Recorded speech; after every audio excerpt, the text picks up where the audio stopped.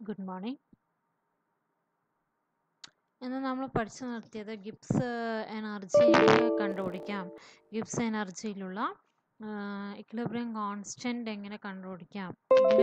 അങ്ങനെയല്ലേ പറഞ്ഞ? Gibbs energy equilibrium കോൺസ്റ്റന്റും തമ്മിലുള്ള ബന്ധമൊക്കെയാണ് ഇന്നലെ പഠിച്ചത് അല്ലേ?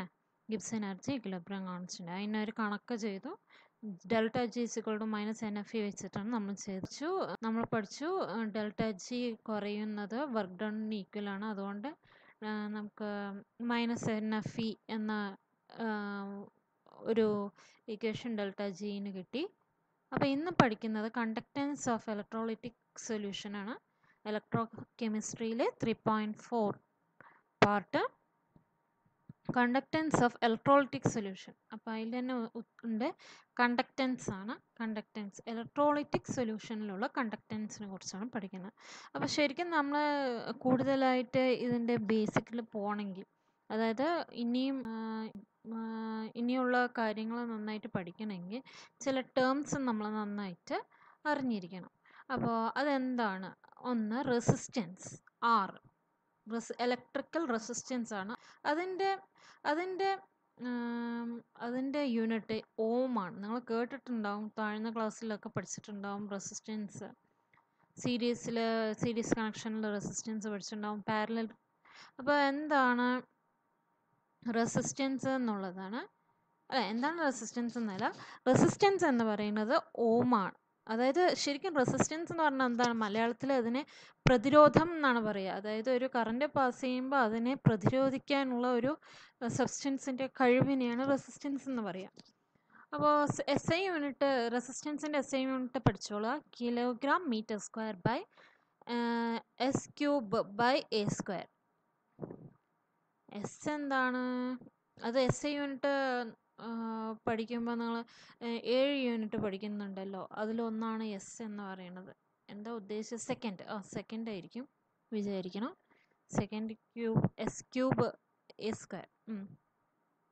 അപ്പോൾ it can be measured resistance measure ചെയ്യുന്നത് വീറ്റ് സ്റ്റോൺ ബ്രിഡ്ജിന്റെ സഹായത്തിലൂടെയാണ്. ഈ വീറ്റ് സ്റ്റോൺ ബ്രിഡ്ജ് നമ്മൾ ഫിസിക്സിലൊക്കെ പഠിക്കുന്ന ഒരു ഒരു കാര്യമാണ്. ഇനി electrical resistance directly proportional to L and inversely proportional to A അപ്പോൾ നമുക്ക് അതിനെ രണ്ടും ചേർത്ത് എഴുതാം. എങ്ങനെ എഴുതാം? R proportional to L by A എന്ന് എഴുതാം. അപ്പോൾ ഈ പ്രൊപ്പോർഷണാലിറ്റി ചിഹ്നം മാറുമ്പോൾ നമുക്ക് ഒരു കോൺസ്റ്റന്റ് കിട്ടും. പ്രൊപ്പോർഷണാലിറ്റി കോൺസ്റ്റന്റ് കിട്ടും. അതിനെയാണ് നമ്മൾ റോ എന്ന് പറയുന്നത്. റോ എന്നത് എന്റെ അർത്ഥം റെസിസ്റ്റിവിറ്റി എന്നാണ്. റെസിസ്റ്റിവിറ്റിയുടെ യൂണിറ്റ് എസ് ഐ യൂണിറ്റാണ് ഓം മീറ്റർ റെസിസ്റ്റിവിറ്റിയെ തന്നെയാണ് നമ്മൾ പറയുന്നത് സ്പെസിഫിക് റെസിസ്റ്റൻസ് എന്ന്. അപ്പോൾ നമ്മൾ I U P S C recommends the use of the term resistivity I U P S C ആണ് സ്പെസിഫിക് റെസിസ്റ്റൻസിന് പകരം നമ്മൾ റെസിസ്റ്റിവിറ്റി എന്ന് പറയണമെന്ന് പറയുന്നത്. അപ്പോൾ ഒരു റെസിസ്റ്റിവിറ്റി ഓഫ് ദ സബ്സ് ഒരു സബ്സ്റ്റൻസിന്റെ റെസിസ്റ്റിവിറ്റി എന്ന് പറയുന്നത് റെസിസ്റ്റൻസിന് ഈക്വൽ ആവുന്ന സന്ദർഭമുണ്ട്. അത് എപ്പോഴാണ് ഈക്വൽ ആവുക? ഈ ഇക്വേഷനിലൂടെ തന്നെ നോക്കാം. R is equal to rho L by A അല്ലേ? അപ്പോൾ ഈ എൽ ബൈ എ എന്ന് പറയുന്നത് യൂണിറ്റി ആവുമ്പോൾ ആർ എന്ന് പറയുന്നത് റോയ്ക്ക് ഈക്വൽ ആവും. അത് എൽ ബൈ എ യൂണിറ്റി ആവണമെങ്കിൽ ലെങ്ത്ത് ഒരു മീറ്റർ ആവണം ഏരിയ ഒരു മീറ്റർ സ്ക്വയർ ആയിരിക്കണം. അപ്പോൾ വൺ ബൈ വൺ ആവും. അപ്പോഴാണ് R is equal to equal to rho എന്ന് പറയുന്നത്. അപ്പോൾ resistance when resistivity of a substance is its resistance when it is one metre long and its area of cross section is one metre square അപ്പോൾ one ohm metre അതായത് അതിലെ റെസിസ്റ്റിവിറ്റി അതെന്ന് പറയുന്നത് hundred ഓം centimetre ആണ്. അതായത് മീറ്റർ സെന്റിമീറ്റർ ആകുമ്പോൾ hundred കൊണ്ട് ഇന്റു ചെയ്യേണ്ടത് ആ അതേ തന്നെയാണ് ഇവിടെ. അതുപോലെ വൺ ഓം സെന്റിമീറ്റർ എന്ന് പറയുന്നത് point zero one ohm metre ആയിരിക്കും. നമ്മൾ പക്ഷേ എസ് യൂണിറ്റിൽ പറയുമ്പോൾ അതിന് മീറ്റർ ആയിട്ടാണ് എടുക്കുക.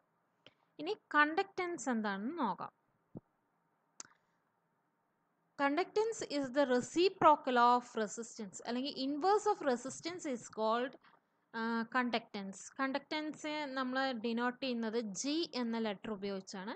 G is equal to one by R അപ്പോൾ നമ്മൾ പഠിച്ചു R is equal to rho L by by A ആണ്. അപ്പോൾ വൺ ബൈ ആർ എന്ന് പറയുമ്പോൾ നമുക്ക് ഇങ്ങനെ എഴുതിക്കൂടെ? എ ബൈ റോയൽ എന്ന് എഴുതാം. അപ്പോൾ വൺ ബൈ റോ എന്ന് പറയുന്നത് എന്തായിരിക്കും അപ്പോൾ റോ പറയുന്നത് റെസിസ്റ്റിവിറ്റിയാണ് അപ്പോൾ ഇൻവേഴ്സ് ഓഫ് റെസിസ്റ്റിവിറ്റിയെ നമ്മൾ കണ്ടക്ടിവിറ്റി എന്നാണ് പറയുക. അപ്പോൾ കണ്ടക്ടിവിറ്റിയെ നമ്മൾ ഡിനോട്ട് ചെയ്യുന്ന ലെറ്റർ കെ ആണ്.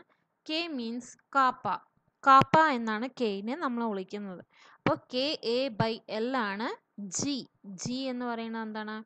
Conductance conductance is equal to K A by L അതായത് conductivity into A by L അപ്പോൾ കണ്ടക്റ്റൻസും കാപ്പയും അതായത് കണ്ടക്ടിവിറ്റി ഈക്വൽ ആവുന്ന സന്ദർഭവും എ ബൈ എൽ യൂണിറ്റി ആവുമ്പോഴാണ്. അതായത് area cross of cross section one metre സ്ക്വയറും ലെങ്ത് വൺ മീറ്ററും ആവുമ്പോഴാണ് കണ്ടക്റ്റൻസ് കണ്ടക്ടിവിറ്റിക്ക് ഈക്വൽ ആവുന്നത്.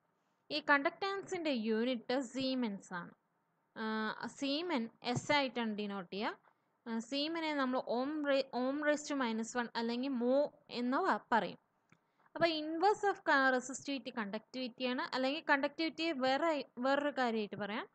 സ്പെസിഫിക് കണ്ടക്റ്റൻസ് അപ്പോൾ സിമിലർലി റെസിസ്റ്റിവിറ്റിയുടെ കേസിൽ പോലെ തന്നെ I U P S C prefer ചെയ്യുന്നത് സ്പെസിഫിക് കണ്ടക്റ്റൻസ് എന്നല്ല കണ്ടക്ടിവിറ്റി എന്ന് പറയാനാണ്. അപ്പോൾ കണ്ടക്ടിവിറ്റി ഡിനോട്ട് ചെയ്യുന്നത് കെ ആണ്. കെ എന്ന് പറഞ്ഞാൽ ഗ്രീക്ക് കാപ്പ എന്നാണ് പറയുക കാപ്പ എന്നാണ് ഗ്രീക്കിൽ പറയുക ഇനി ഇനി ഇതിൽ പറയുന്നത് കണ്ടക്ടിവിറ്റിയുടെ unit siemen metre raise to minus one ആണ്. അപ്പോൾ K is expressed as siemen centimetre raise to but often k is expressed as uh, siemen centimetre raise to minus one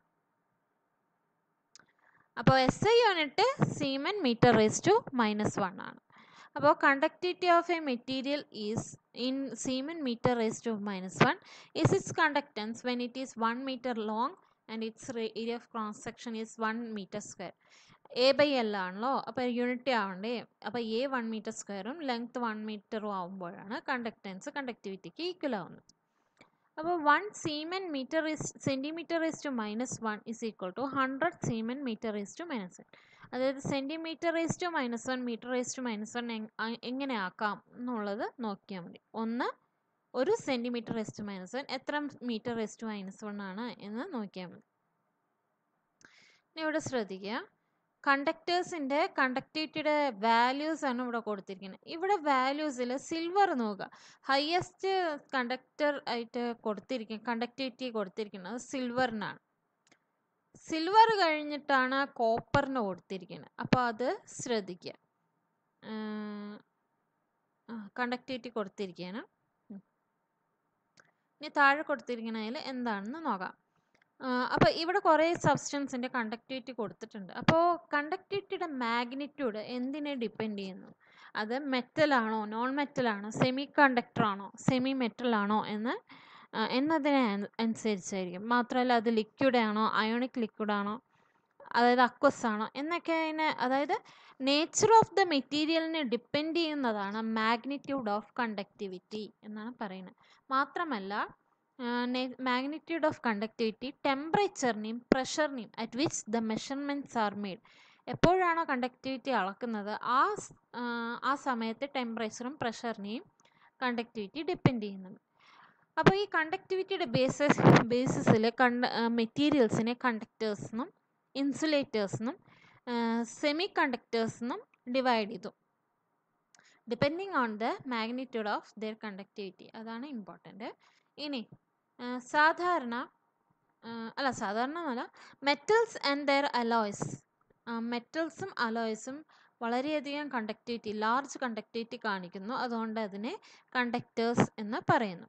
ഇനി non metals like non metals പോലത്തെ carbon black അതുപോലെ graphite അതുപോലെ some organic polymers are also electronically conductivity conducting ആണ്. Electronically conducting ആണ്. Non മെറ്റൽസിന്റെ കാര്യമാണ് പറയുന്നത്. സാധാരണ നോൺ മെറ്റൽസ് കണ്ടക്ട് ചെയ്യില്ല എന്ന് പറയും. അപ്പോൾ ഇവിടെ കൊടുത്തിരിക്കുന്ന നോൺ മെറ്റൽസ് കണ്ടക്ട് ചെയ്യും എന്നാണ് പറയുന്നത്. ഏതൊക്കെയാണത്? കാർബൺ ബ്ലാക്ക് ഗ്രാഫൈറ്റ് ഗ്രാഫൈറ്റ് പറഞ്ഞാൽ കാർബണിന്റെ ഒരു വകഭേദമാണ്. അതുപോലെ പോളിമസ് സം ഓർഗാനിക് പോളിമസ് ഇനി ഗ്ലാസും സെറാമിക്സും ഒക്കെ ഇൻസുലേറ്റേഴ്സ് ആണ്. കാരണം അവയ്ക്ക് ലോ കണ്ടക്ടിവിറ്റിയാണ് ഉള്ളത്. ഇനി substances like silicon doped silicon gallium arsenide ഇതൊക്കെ having conductivities in between conductors and insulators കണ്ടക്ടേഴ്സിന്റെ ഇൻസുലേറ്റേഴ്സിന്റെ ഇടയ്ക്കാണ് ഇവയുടെ കണ്ടക്ടിവിറ്റി ഈ സെമി മെറ്റൽസിന്റെയും ഡോപ്പ് ചെയ്ത സെമി മെറ്റൽസിന്റെയൊക്കെ silicon doped silicon gallium arsenide അപ്പോൾ അവയെ സെമി കണ്ടക്ടേഴ്സ് എന്നാണ് പറയുക and are important in electronic materials ഇനി സൂപ്പർ കണ്ടക്ടേഴ്സ് എന്ന് പറഞ്ഞിട്ടൊരു വിഭാഗമുണ്ട്. സൂപ്പർ കണ്ടക്ടേഴ്സ് സീറോ റെസിസ്റ്റിവിറ്റി അല്ലെങ്കിൽ ഇൻഫിനിറ്റ് റെസിസ് കണ്ടക്ടിവിറ്റി കാണിക്കുന്ന മെറ്റീരിയൽസ് ആണ്. അപ്പോൾ ഓൺലി മെറ്റൽസ് ഏർലിയർ നമ്മൾ നമുക്കറിയുന്നത് മെറ്റൽസും അതിന്റെ അലോ അതിന്റെ അലോയ്സും മാത്രം ലോ കണ്ടക് ലോ ടെമ്പറേച്ചറിൽ ഉള്ള ലോ ടെമ്പറേച്ചറിൽ സൂപ്പർ കണ്ടക്ടിവിറ്റി കാണിക്കുന്നതാണ്. പക്ഷെ ഇപ്പോൾ സെറാമിക് മെറ്റീരിയൽസും mixed ഓക്സൈഡ്സും superconductivity at temperatures as high at as one fifty kelvin one fifty കെൽവിനിലൊക്കെ super conductivity കാണിക്കുന്നു എന്ന് കണ്ടുപിടിച്ചിട്ടുണ്ട്.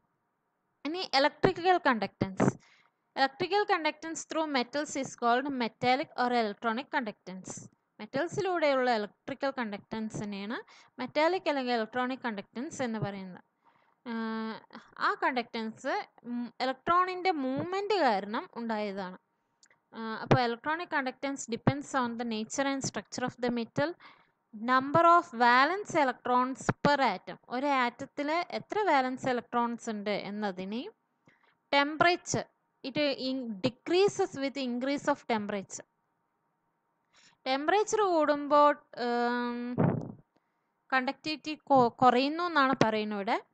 It decreases with increase of temperature electrical കണ്ടക്റ്റൻസിന്റെ കാര്യമാണ്. മെറ്റാലിക് അല്ലെങ്കിൽ ഇലക്ട്രോണിക് കണ്ടക്റ്റൻസ് മെറ്റൽസിലുള്ള ഇലക്ട്രിക്കൽ കണ്ടക്റ്റൻസിന്റെ ഡിപ്പെൻഡൻസിനെയാണ് പറയുന്നത്. ഒന്ന് nature and structure of the metal then number of valence electrons per atom പിന്നെ temperature when temperature decreases in അല്ലെ when temperature increases conductivity decreases in the case of metals അതാണ് ഇമ്പോർട്ടന്റ് എല്ലാത്തിന്റെയും കേസിൽ ഒരേപോലെയല്ല. അപ്പോൾ as the electrons enter one end and go out through the other end ഒരു മെറ്റൽസിൽ electrons ഒരു എൻഡിൽ എൻഡിൽ എന്റർ ചെയ്യും മറ്റൊരു എൻഡിൽ വെളിയിലേക്ക് പോകും. അപ്പോൾ അതുകൊണ്ട് മെറ്റാലിക് കണ്ടക്ടറിലുള്ള കോമ്പോസിഷന് ഒരു ചേഞ്ചും സംഭവിക്കില്ല. പക്ഷെ സെമി കണ്ടക്ടേഴ്സിന്റെയൊക്കെ മെക്കാനിസം ഓഫ് കണ്ടക്ടൻസ് കോംപ്ലക്സ് ആണ്. അത് നമ്മൾ പ്ലസ് വണ്ണിൽ പഠിക്കുന്നുണ്ട്. അപ്പോൾ പ്യുർ വാട്ടറിൽ pure water has small amounts of hydrogen and hydroxyl ions അതായത് ടെൻ റെസ്റ്റ് സെവൻ മോളാറാണ് അവയുടെ കോൺസെൻട്രേഷൻ അപ്പോൾ അതിന് അത് കാരണം അയോൺസ് കുറവായതുകൊണ്ട് ലോ കണ്ടക്ടിവിറ്റി ആവുന്നു. പക്ഷേ when electrolytes are dissolve in water വേറെ ഇലക്ട്രോലൈറ്റ്സ് ഡിസോൾവ് ചെയ്യുമ്പോൾ the furnish their own ions their own ions in the solution ആ ഇലക്ട്രോലൈറ്റ്സിന്റെ സൊല്യൂഷൻ തന്നെ ആ വാട്ടറിൽ വരും. അപ്പോൾ അതിന്റെ കണ്ടക്ടിവിറ്റി കൂടും. കാരണം കൂടുതൽ അയോൺസെ കൂടുതൽ കണ്ടക്ട് ചെയ്യാൻ പറ്റും. അപ്പോൾ conductance of electricity by ions present in the solution is called electrolytic or ionic conductance അയോൺസിന്റെ ions കാരണം സൊല്യൂഷനിലുള്ള അയോൺസ് കാരണം ഇലക്ട്രിസിറ്റി കണ്ടക്ട് ചെയ്യുന്നെങ്കിൽ അതിനെ ഇലക്ട്രോളിറ്റിക് അല്ലെങ്കിൽ അയോണിക് കണ്ടക്ടൻസ് എന്ന് പറയുന്നു.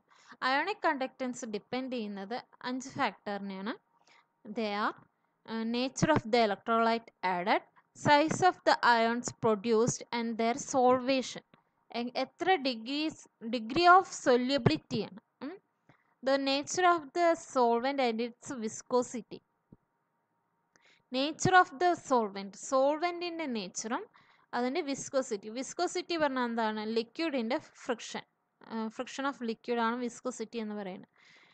ഇനി concentration of the concentration of the electrolyte ഇലക്ട്രോലൈറ്റിന്റെ concentration പിന്നെ ടെമ്പറേച്ചർ ഇവിടെ ഈ കേസിൽ ടെം ടെമ്പറേച്ചർ കൂടുമ്പോൾ കണ്ടക്ടിവിറ്റി കൂടുന്നു എന്നാണ് പറയുന്നത്. മെറ്റൽസിന്റെ കേസിൽ കുറയുകയാണ്. പക്ഷേ ഇലക്ട്രോലൈറ്റ് ഇലക്ട്രോലൈറ്റിക് അല്ലെങ്കിൽ അയണിക് സൊല്യൂഷനിൽ കണ്ടക്ടിവിറ്റി ഇൻക്രീസ് ചെയ്യാണ് ചെയ്യുന്നത്. അപ്പോൾ പാസേജ് ഓഫ് ഡയറക്റ്റ് പക്ഷേ direct D C current direct കറണ്ടിന്റെ പാസേജ് അയണിക് സൊല്യൂഷനിൽ കണ്ടിന്യൂസ് ആയിട്ട് കുറേ നേരം ചെയ്തു വെച്ച് അതിന്റെ കോമ്പോസിഷനിൽ ചേഞ്ച് ചെയ്യും. ഇത് ഇതെന്തുകൊണ്ടാണ് ചേഞ്ച് ആവാൻ കാരണം? ഇലക്ട്രോ കെമിക്കൽ റിയാക്ഷൻസ് ഉള്ളതുകൊണ്ടാണ്.